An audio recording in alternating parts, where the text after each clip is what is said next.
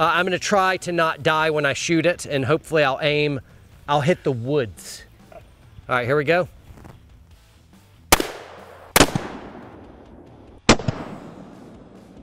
Goodness gracious.